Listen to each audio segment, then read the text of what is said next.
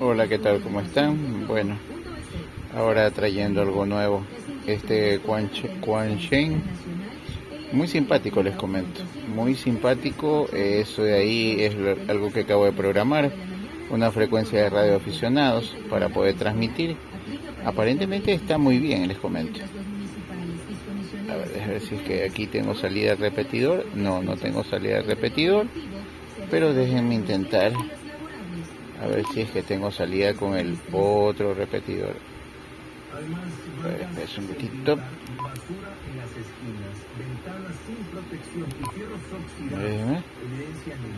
Ahí sí, vamos a ver.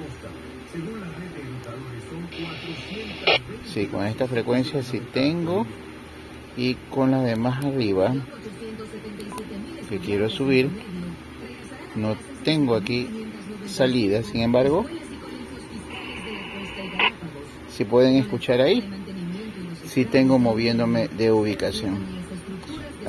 tengo un pequeño problema, que un amigo me dijo que este equipo lo podía tranquilamente eh, programar con, eh, con Chirp, les comento, con Chirp, pero por mucho que he hecho el intento con Chirp para Programarlo no pude.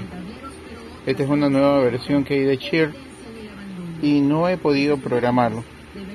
He usado, me dice él que usó el cable del, del Baufen, del VR5R, pero si alguien de ustedes tiene información les agradecería. He tratado de hacerlo, pero no puedo. Tengo una versión de Windows que es la versión 11. Eh, tengo los controladores del cable, pero no he podido. De pronto alguien de ustedes que conozca, estoy haciendo experimentación con este radio, recién lo tengo. Eh, quiero cambiarle el firmware, que ya tengo un firmware nuevo, y hacer otras pruebas. Y ustedes saben que siempre me ha gustado. Y bueno, gracias a todos ustedes que siempre han venido siguiendo mis videos. Así que aquí está algo nuevo que estoy haciendo. Veamos qué más puedo hacer con este radiacito. Quiero cambiarle el firmware, pero si no logro entrar a él, se me va a hacer muy difícil. Pero verlos pronto. HC2 Lima Lima se queda por estos rumbos.